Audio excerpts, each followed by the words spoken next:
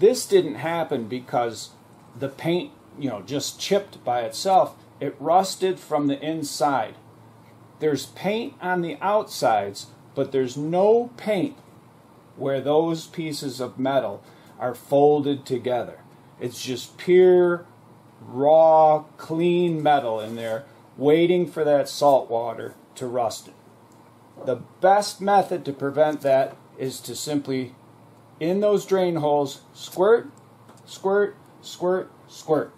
Shut the hood or the deck lid or the doors.